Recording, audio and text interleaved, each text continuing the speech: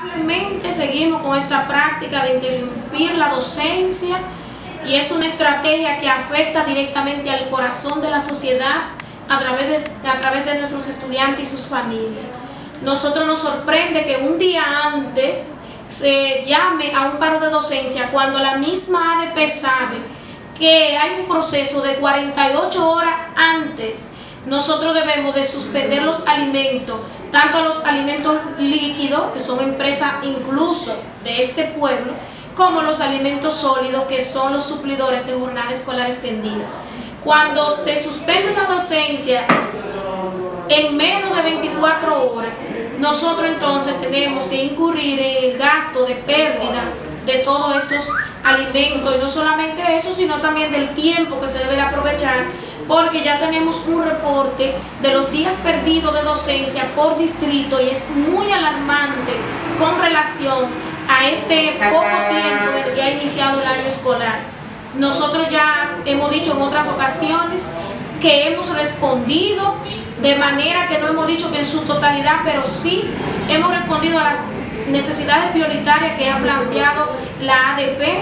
eh, se han solucionado diálogo constante, soluciones, soluciones y de repente entonces pasamos por situaciones de que eh, un día, media tarde antes se convoque a un paro de docencia. Seguimos llamando a que dialoguemos a la cordura, al cambio de estrategia, de que no podemos seguir quitándole el derecho constitucional que tienen los estudiantes de recibir docencia. Por lo que nosotros también en, la, en varias de las acciones lo que hemos visto es que cuando se nos plantea una situación y creemos que todos estamos ya de acuerdo, entonces surgen otras necesidades, surgen otras. Y las necesidades en el Ministerio de Educación siempre van a existir porque estamos trabajando con personas. Y cuando se trabaja con personas, los tiempos van evolucionando, los días. Y hoy, para poner un ejemplo, si una ventana en una escuela estaba buena, es posible que mañana, hasta porque se destruya o sea internamente,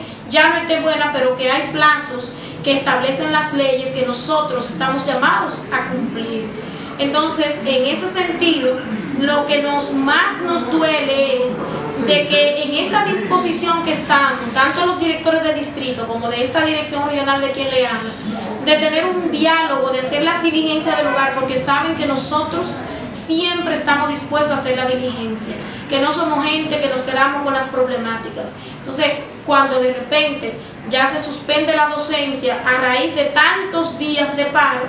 uno siente que definitivamente hace un poco más de sentido, hace falta más sentido común y por eso aprovechamos para llamar nuevamente al diálogo antes de y que nosotros en conjunto podamos ver las soluciones, porque también de lo que se soluciona no se habla. Y esa es una dificultad que estamos presentando y que queremos que en las próximas acciones pues nosotros podamos tener abierto una mesa de diálogo y que no sea con suspensión de docencia como una primera decisión inmediata. Y es por lo que nosotros nos sentimos muchas veces eh, indignados en el sentido de que estamos, vamos solucionando y vamos presentando soluciones y de repente entonces nadie es responsable de la toma de decisiones que se hacen, por lo que exhortamos que nosotros debemos de preservar el derecho que tienen nuestros estudiantes con relación a recibir docencia, que en el historial que tenemos ya del sistema del SAS, en la Regional 07 se han perdido demasiado, demasiado tiempo se ha perdido de docencia.